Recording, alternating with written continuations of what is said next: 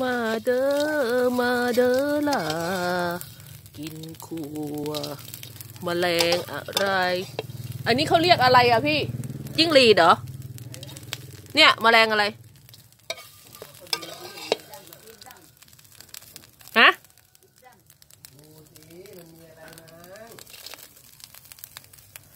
จิ้งหรีดเหรอเนาะจิ้งหรีดจิ้งหรีดจิ้งหรีด เรียกก็ไม่ถูกหรอกคั่วแห้งคั่วแห้ง อาหารโปรตีนสูงนะ high protein snack snack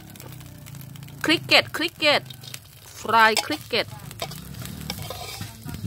มันคือจิ้งหรีด อาหารอีสานของเราไทยนอสอีสเทิร์นฟู้ด This is a snack fried cricket